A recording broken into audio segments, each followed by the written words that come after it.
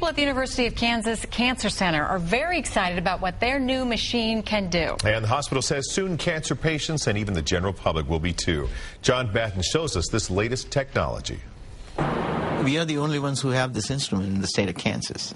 Inside this building is a modest looking machine that could make a big difference in the lives of cancer patients. This is when a circulating tumor cell. It detects rare cells in the blood that indicate the growth of cancer. There are only a few cells that circulate very, very early on in the development of cancer. So if you can detect them, they would be very useful in starting an early therapy.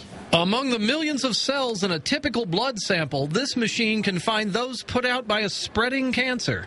They uh, can be used as a diagnostic to detect cancer very early, even before an X-ray or a CT can detect them.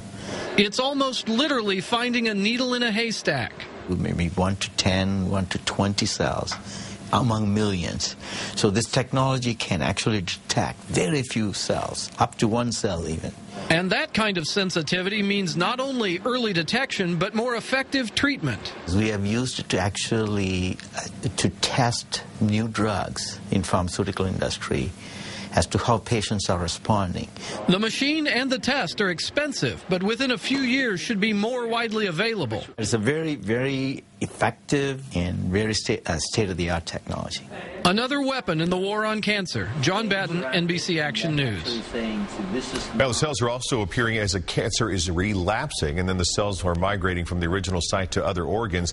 The FDA has approved the test for colorectal, prostate, and breast cancers.